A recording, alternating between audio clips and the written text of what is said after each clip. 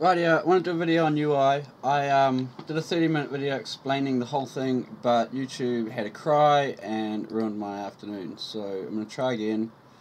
Sorry if I'm abrupt this time. Um, quite pissed off and just want to get it done because you, YouTube. Right, we have a UI here. We're going to change this resolution before it kills the game.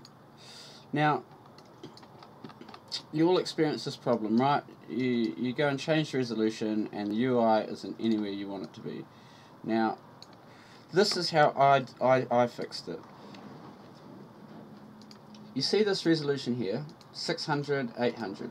If you were to make that 1920 by 1080, it changes the physical size of everything that would mean that your wrap would now have to you'd have to make it bigger and all that means is that you know, that's how many pixels you have for drawing letters and stuff. So it doesn't need to scale with the screen resolution.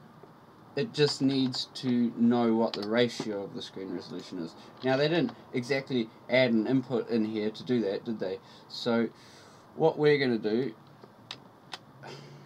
it'd be nice if things stayed where I wanted them what we're going to do is we're going to leave it at 800 by 600 because I find that quite a nice size. And even if you um, even if you change the the uh, the re reference resolution you, you end up making your menu bigger anyway. So at the end of the day you just want it to be the size you want it to be.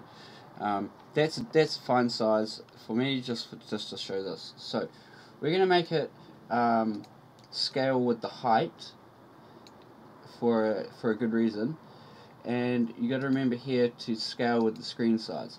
So that means that if we go to aspect ratio it should always stay uh, at the right vertical position. So it's always going to stay at the bottom of the screen.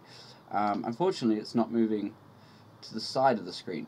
Now this works by updating the canvas scaler at, at you know an editor at just at all time the way that these work is they're a little bit different because in script it doesn't know the the resolutions changed unless you tell it to.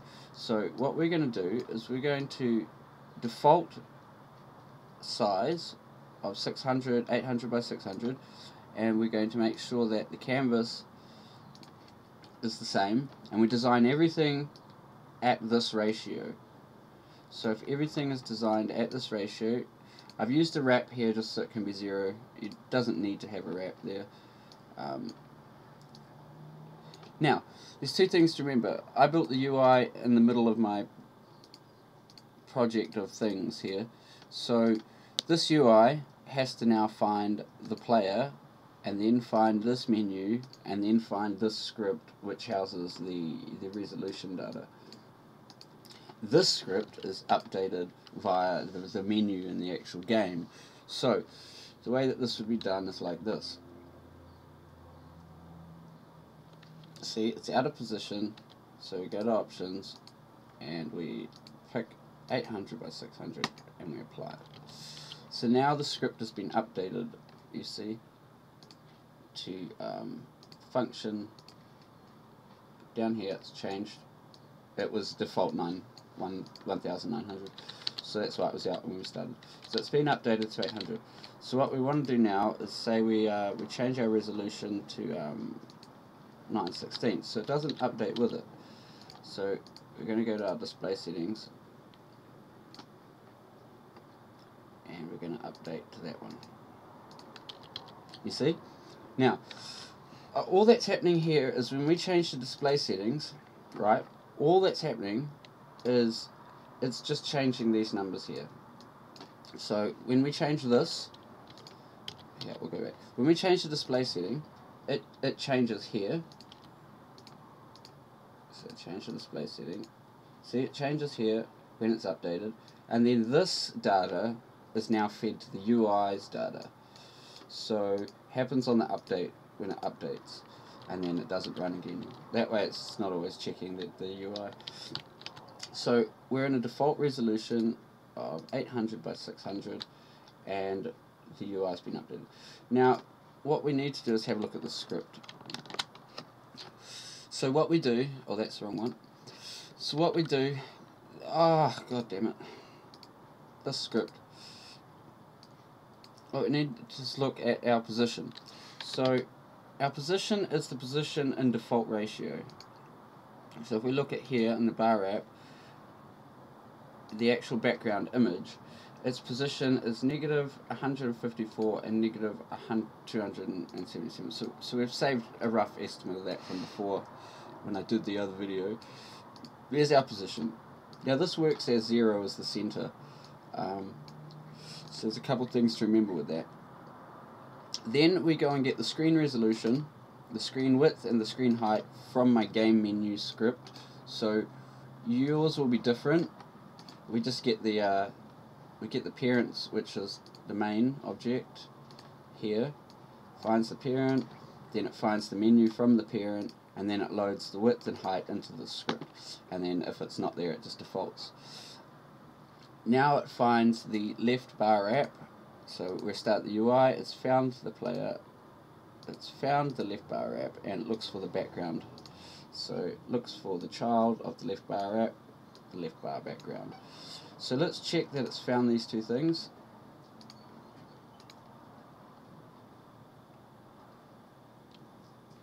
That's annoying, I should take that away. Um, background, it's found a background, it's found the main player, and it's found itself. So we know that the that it's uh, working at this point. Now what happens here is th this is this is the actual core of, of the width scaling. So I need to explain this, which I explained before, uh, probably in a much better tutorial, but anyway. What first happens is it takes a ratio, right? So if we look at this with a calculator, if we take our height, we take our default canvas height. So if the canvas height changes, these numbers need to change as well. You could directly link them from the canvas, but I have no intention of changing the canvas reference. Um, you might want to. So if the canvas reference changes, this needs to change too, so that it will calculate the correct calculations. So we go 600, actually to show you this, we go we go uh, 800 divided by 600 is a ratio of 1.3. So we take 600 and we times it by 1.3. That gives us 1.333. It'll give us 800. Uh, it gives us our our um, our width. Now that's that's what you're supposed to expect. It's supposed to be the height and width is the ratio, the difference, right? That's good. Now when you change the screen resolution, and it changes the ratio to say 16 divided by 9, you have a ratio of now 1.7. So to solve this equation, it works by doing this. 600 times the new ratio, 7, 8 or whatever it is, is going to give us a new width, but with still a height that's the same. We want to divide this width in half because we have negatives and positives. We know that before our width was 400 and we were 200 and negative 200 and something uh, into that 400. But now if we go negative 200 and something into that 400, it's, it's going to be in the center of the screen. So what we've got to do is we've got to find the new width and then calculate from the left back in. I know.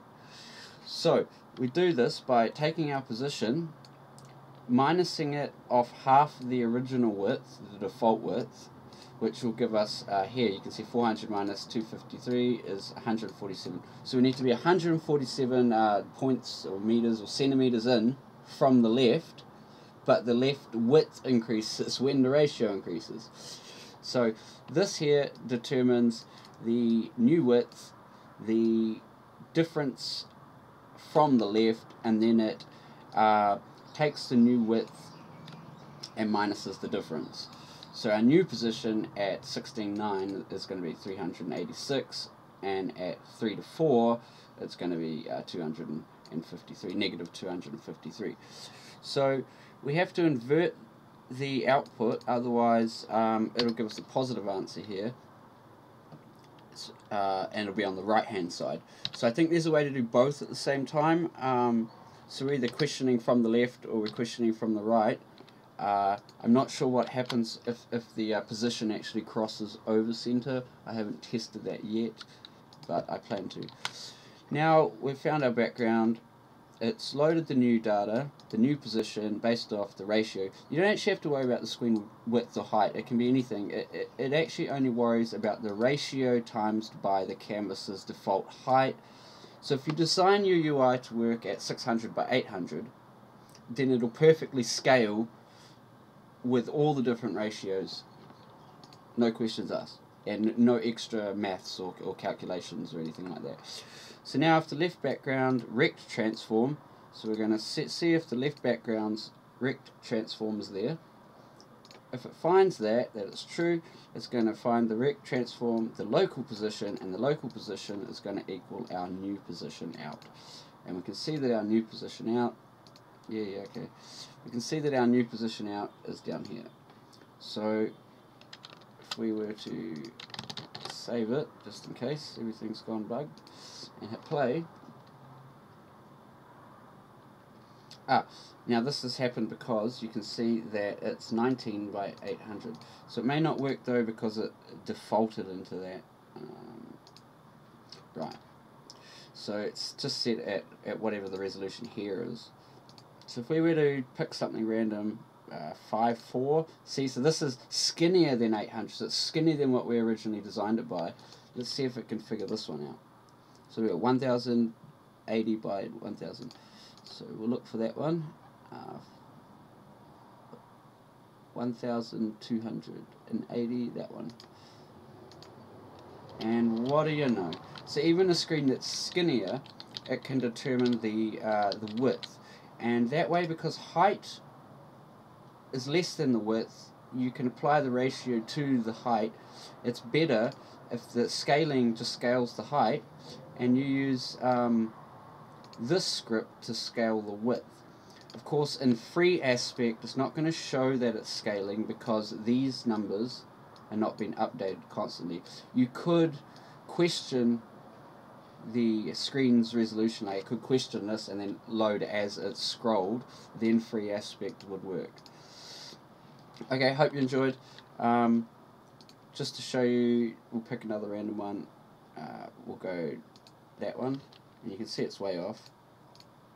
And that's 1610 2500 and bam. See so no problems. No matter what text always goes to the same place and it stays the same size. Um, this how I solved UI scaling it, it's because of the, the, the canvas reference and the ratio difference. See, if the ratio never changed from 4 to 3, the it would never matter you could go to any resolution size and the UI should stay in the same place. So it's only actually the, the ratio that changes that and um, that's the code that, that fixes it. This is the code that fixes fixes that difference. Um, it could be could be a bit bit easier to understand perhaps, but um, it's pretty small all in all. Like it's in one, two, three, five lines of code. So uh, I think I did well. Hope you enjoyed and good luck.